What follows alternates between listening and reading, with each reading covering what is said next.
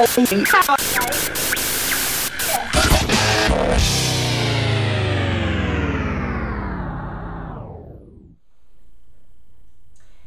Shawna Kate, I wanted to give you some tips for your jump rope because if you don't have a proper jump rope or if it's the wrong size, you will not be successful and get frustrated and you'll think jump roping is not for you, but I can tell you that it is. My favorite jump rope is a plastic rope with larger handles. Now there's several ropes on the market. Um, my favorite rope is an Everlast brand. I should get a nickel for every rope I sell.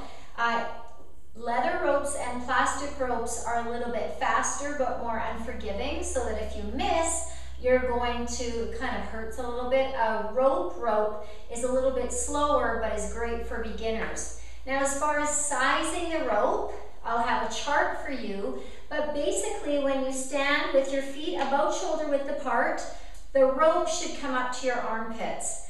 And so, and then you'll have the handles. If it's much longer than that, then it's gonna get tangled in your feet and you're not gonna get a good rhythm.